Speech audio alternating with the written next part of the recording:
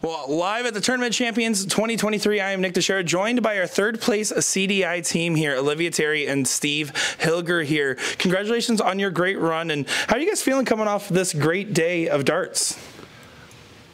We're supposed to say it together.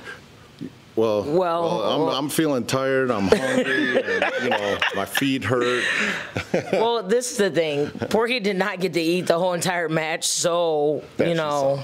Um, it, it was fun. I had a lot of fun. The competition was awesome. It was a great environment. You know, I'm I'm really proud of the ladies. I'm sorry. There's a lot of ladies that don't get to play with these phenomenal dart players, men, and you know they showed their butts off tonight. So you know, I'm I'm very proud of them. And then to piggyback off that, I mean, we talked about on the stream, uh, it's people playing with people they never played with before, um, and a lot of fresh teams. Have you guys played together before, and what was it like trying to find your dynamic between the two of you? I'll answer that.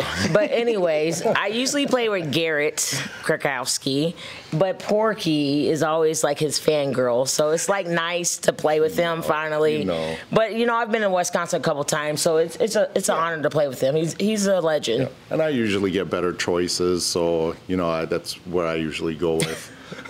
well, it seems like this pairing and choice worked out well enough. Three thousand dollars, fifteen hundred apiece. I mean, that's a decent chunk of change. What are you guys going to spend it on?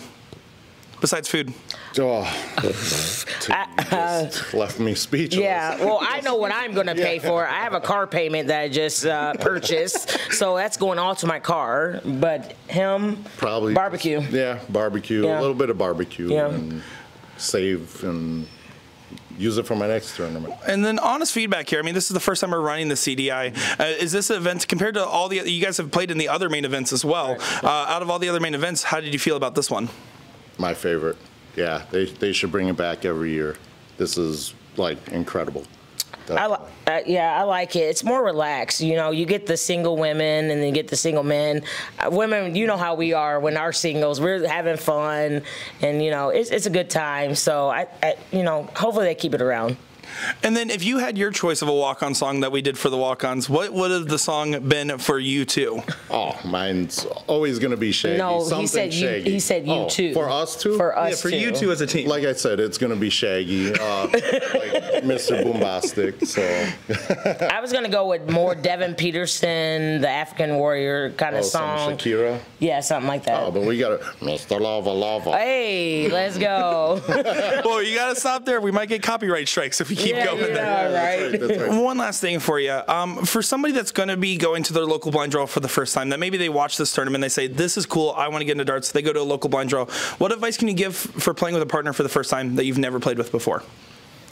Just do it. I mean, you're always going to shoot with someone new if you go to blind draws, anyways. Um, if you are one of the top shooters, be kind to them. Mm-hmm. You know, like show them the ropes and you know get them. We, what we want to do is get people interested in Right. darts. They don't want to come out and oh, you know, I don't want to deal with that guy and this guy.